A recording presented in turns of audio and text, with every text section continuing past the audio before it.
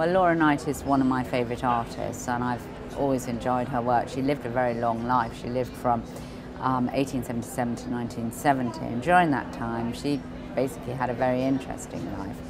And she went away around travelling with the circus, with the ballet, with the gypsies, and I have examples of this is obviously one of her gypsy pictures, and that's why I bought this, which is an exception to what I normally deal in because it's an oil.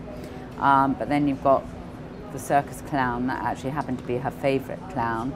And then you've got, she also um, spent quite a lot of time with the boxers. So you've got the boxing picture.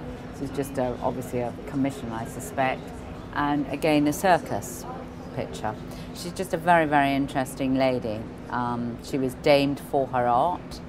Um, yeah, she's great, she's great, and I've just always enjoyed her work. She did very, very slight examples obviously very finished pieces of work. So I have very few oils, but this just happens to be an oil because I love Laura Knight. Uh,